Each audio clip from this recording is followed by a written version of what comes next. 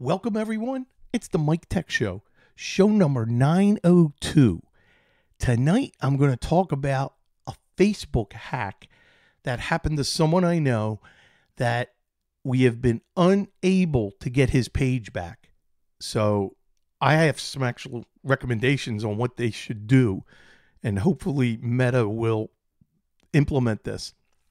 I'm going to talk about tech magazines because the rest of the things I'm going to talk about tonight were pulled out of Maximum PC, and there's a reason, and I'm going to discuss why.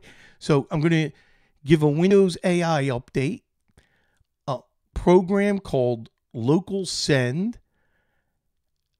I always talk about the Surface Pro in replacing the battery, and I fix it, and I learned this from the magazine.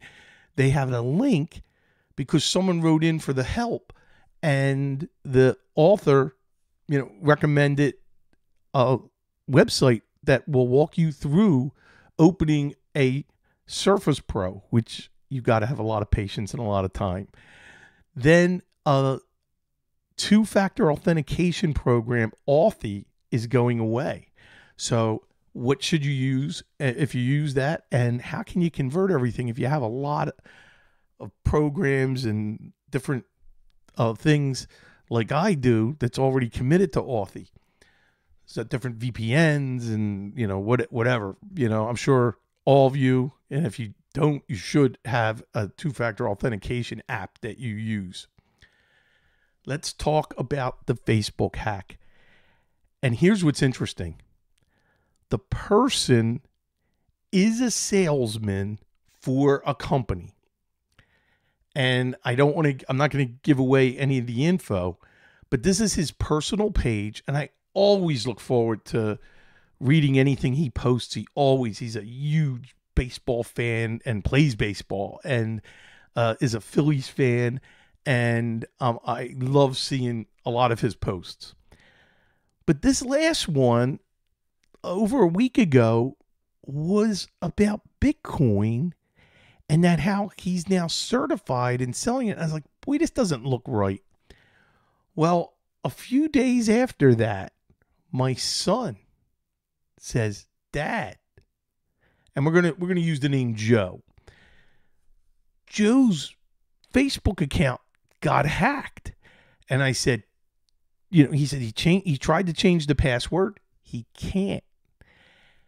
Because his email has been changed and his cell phone was changed. So he can't authenticate anyhow to get his page back. So you say, okay, wait, there's there's forms out there. Well, he's in an endless loop. He needs a human to step in, verify that it's him, and then make the change to get his email back, like put the email back and then put the phone back. So, how did the person get in in the first place? And we didn't even talk about that. I haven't talked about that with Joe, but I believe his email was hacked. And the first thing I told my son, I said, call him, tell him no matter what, change your email password because they probably got hold of the of the account and then they were once you get hold of the email boy you can reset anything so they probably went, you know, it went to Facebook, reset the the uh, the password, logged in, and then changed the phone number and changed the email account for verification. Well, here's what I recommend first for Facebook and, or Meta, whatever you know. One of the things you can't do is allow a user to change their email and their verification phone number. There should be a delay. If you change your email, then you shouldn't be allowed to change the phone number for like a week or so. And I I'm taking this approach from GoDaddy because of the possibility of someone taking over someone's domain and transferring it. If you change your contact email or contact phone number, you can't transfer the domain, I believe, for like 30 days. So you have a waiting period. I think there should be a waiting period of a week or two on Facebook or anything like this in social media that if you change one piece, you're not allowed to change everything. There's a, there's a wait. You you can't change this right now, you know, because hey, you changed your email or you changed your phone number, so you now have to wait 2 weeks before you can change your email. It's the only way to prevent this endless loop where Joe cannot get his Facebook account back. Now, I got an update before the show. My son, he's with uh he's in BNI where my my son is in BNI and he updated my son today. In Instagram, which is owned by Meta, he made his account verified. That's the, the blue check or whatever that is to be verified. And he was then able to contact support where he had, I believe, emails back and forth explaining his problem. They did not promise anything, but since they are meta, they were going to look into what they can do. And especially since they knew they were communicating with the right person because he went through the verification to be verified on Instagram. And I was like, I can't wait to see if this yields him getting his page back because that would be a great path. But I thought that was very clever, you know, of him uh, attempting that. But this is the. Uh, I keep hearing this all the time. I don't know if you remember last year, I talked about uh, I tried to help a business that was a restaurant where their Facebook page got taken over and they have a, a different, because they're a business, they have a little different path for tech support. So the tech support came back and said, Show us a picture. We can't find any photographs of any human beings from your Facebook feed if there was a picture of the business owner somewheres where then he could send a driver's license or something, they would release the account to him. So you, in, if you're a business, you have a little better way. And so my advice is, if you're always taking pictures of food or always taking pictures of something else in your, or maybe the products you sell in your business, make sure there's some pictures of you. So, this way, for a verification process, you can prove who you are. And um, it's interesting because of the pictures in his account. Why don't they do that? And why doesn't Facebook have a process where you can change, maybe upload? excuse me. You can upload a, a PDF or a JPEG of your driver's license, you know, in a secure form, you know, format that they can use to verify a physical picture in your Facebook feed. Now, see, that would be a great extra verification when this situation happens. But let's face it, we all know Facebook does not care about security. They really don't. And that's a problem. That's been a problem since day one.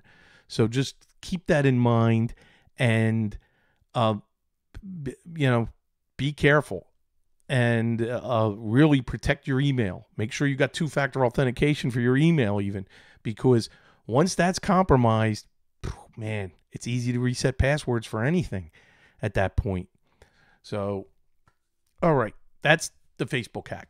So now what I want to do is I want to talk about tech magazines. That's right, going old school here. The rest of the show, except for the emails I'll read at the end, are from Maximum PC from February and March. I went through those issues and there was a lot of great little things that I want to talk about that I learned. Now, the problem with publications, I get it. By the time the magazine's released, the information's old. We can get tech news and information so much faster. So, a couple things I'm putting out there for websites for tech information and news. What are your favorite sites? Send me your top favorite sites, and I'll do a show putting a collection of all the sites and the sites that I like. And we will, I'll do a, a future show. So I'll give this a few weeks for everybody to hear this and send it. So, um, what I would like to do is uh, just definitely uh, send me an email, Mike, Mike Tech Show at gmail.com. I was ready to give my business email. And let me know your favorite news sites. Like, where do you go for your tech news? So, some of you go here, you know. Um, so let me bring up uh first now you know what let's talk about the program LocalSend local send is a program that allows you to share files from your PC to your phone for free.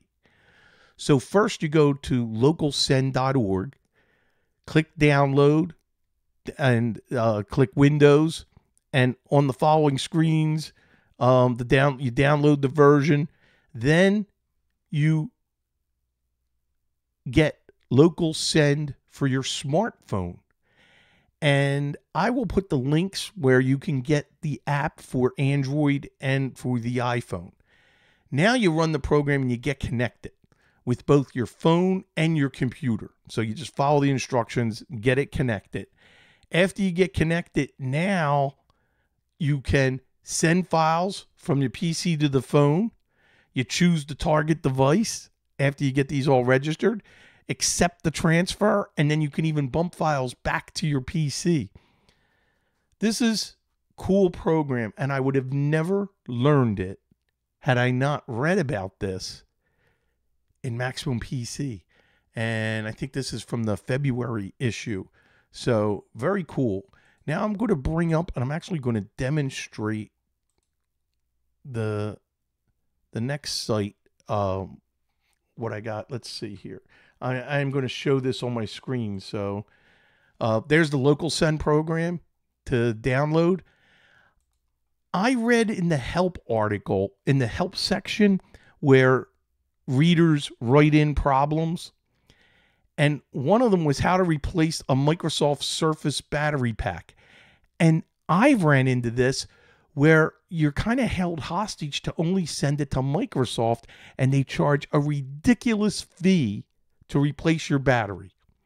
So iFixit. And this is always good to remember. And I don't have the patience or the tools to do this, but I know someone that does, and I may send him these instructions and my old Surface Pro where I have someone with a cracked screen gave me the same Surface Pro and I have a dead Surface Pro from the battery, but everything else is good. I just need the battery from the one move to the other. So take a look at these steps. You, you got the back cover, shows you exactly what to do step by step, the tool that you need.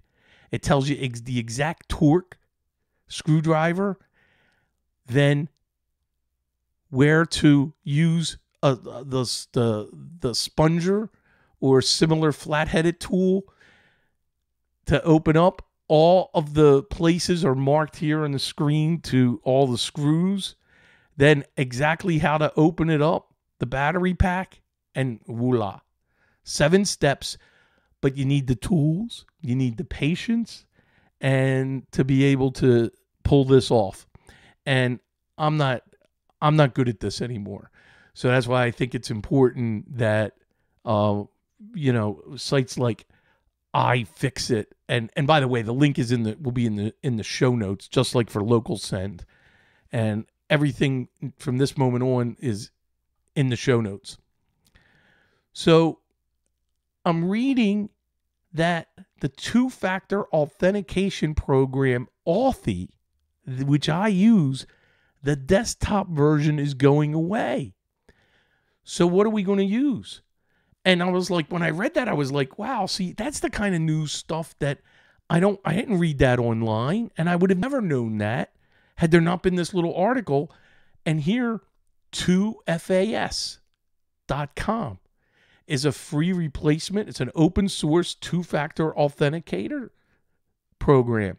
So I, that the link in the show notes, and that link has links to the Apple Store and Google Play. So you have it for your Android or your Apple. So let's say you have lots and lots of authentications. How do you get them transferred? Well, they go into this, and there's uh, I don't know how to pronounce his pronounce his name, but Boudreaux uh, from uh, GitHub has. If you scroll down to let's find it, it's uh um, here you go. Authy to other authenticator. And this is an article by this person on how to transfer all of your Authy settings over to 2FAS. So that's great. So this gets, you know, deep into the weeds for doing this, but it's great that there's a program and there's steps on what to do and how to do that. So I really, really, really appreciate that. So hold on a second. There we go. All right. Um I am having let's see if that's okay. I'm having some uh some video trouble. There we go. Okay. Let me now minimize.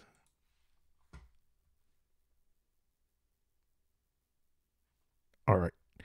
Now, let's get back to my notes. Oh, something I wanted to talk about um, was not just the Surface battery replacement, but this is interesting. And this is right out of the magazine Windows AI Update. This year's second update for Windows is all about Copilot. If you think AI is everywhere already, it's about to get even more pervasive. By summer, we'll have the first swath of AI PC systems with hardware AI acceleration. Windows will have a new update aimed at integrating AI into the heart of the OS. Oh, joy, I can't wait. Um, rather than a scattered feature set. So called Update 24H2. And now 24H1 is due out this spring. So, and this is, of course, for Windows 11. And the buzz was that Microsoft would mark the significance of the change by calling it Windows 12. Other sources which have delved into Microsoft's support documentation, can find no mention of 12, given that Windows 11 has yet to really establish itself as the leading version. The fact that Windows 10 only has about a year of full support left, it seems that we will have to wait until 2025 for Windows 12. Let me tell you something. If Windows 12 comes out if the, if it's going to come out, boy, I hope they get it out because I will go directly from 10 to 12 and skip over 11 because it, makes no sense, you know, and going to 11 when you know that there's 12. When it does arrive, expect a substantial upgrade that will push an advanced version of Copilot right to the front, not on a sidebar. We'll get AI powered assistance for text, images, and more Plus, you'll be able to use natural language search qu- queries. Windows will be able to upscale images and video too. We saw the new UI features at a Microsoft presentation recently, including a floating taskbar. That would annoy me. So I'm not, I don't want a floating taskbar. System icons at the top of the screen and a new smart menu. There's always a new smart menu. I like that. Uh, it'll be more modular and you'll be able to drag widgets to your desktop. Details are fuzzy, but some features are already on the Windows Insider Canary channel where changes requiring long lead times are tested. And they wrap up we've we're bare we're barely 15 months on from the public launches of ChatGPT and DAL E. Yet by the end of this year, we'll have AI PCs running a version of Windows with embedded AI functions. That's a lot of progress in a short time. But with Microsoft overtaking Apple as the world's most valuable company this month, expect AI to be part of a pretty much everything, everywhere that Redmond Giant does going forward.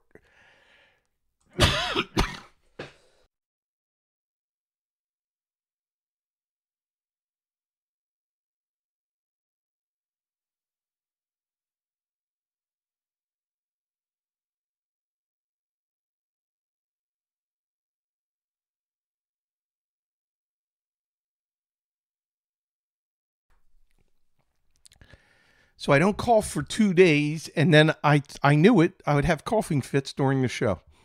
So sorry about that. All right. So that I wanted to read directly from the magazine because that's an, a very interesting short AI update for hardware and uh, the operating system. And boy, that's the first time I heard of Windows 12 being mentioned. So we got to wait and see what happens. I have two emails that I want to get to, and one is from Andrew, and this is uh let's see what do we got here? Um have you seen or heard of the below text text message? Okay he sent me a text message of a, a picture of it. I don't use amex and have not been alerted to a line of credit being opened. And this is from Andy. Andy, thank you for sharing that. And this was about the pig butchering scam. And it starts with a text. And boy, I've gotten texts that I know are not real. And I just delete. And I pick delete and report so I can get rid of it uh, you have to be you cannot respond to a text message that you feel is not right. Don't respond because that's how you get sucked in. So uh, andy thank you very much for that. And now this email is from chris. So it's longtime listener of your show I work in cybersecurity, so I'm always interested in security related tools. I ran across Blumira, B L U M I R A dot com. They offer a cloud SIEM and XDR solution geared towards small businesses. They have free offering that I use personally for my church to monitor Microsoft 365. I couldn't remember you covering anything like this in the past, so I thought I would send it over. I love that. Thank you. I did have a call with them to get pricing as they don't offer that on their site. Take care, Chris. Chris, thank you very much. And one of the things I will make sure is that I have this link in the show notes, and it absolutely will be there. That's it. Cutting the show short tonight. I have to call a client and help them. So I'm not even going to be doing a post show uh, for tonight. And I I got to get up extremely early tomorrow and head to the airport and pick up my wife who's going to be down uh, for Easter, which is great, which makes me think if you are celebrating Easter, everybody please have a happy Easter. We I wish you and your family stay safe, be happy, and I want to thank everybody for downloading and supporting the show. I really appreciate it and all your email responses. Thank you, thank you. Uh, don't forget, you can check out the video for the show at youtube.com slash Michael Smith MTS. That's it. See everybody next week. Same time, same channel. Bye bye.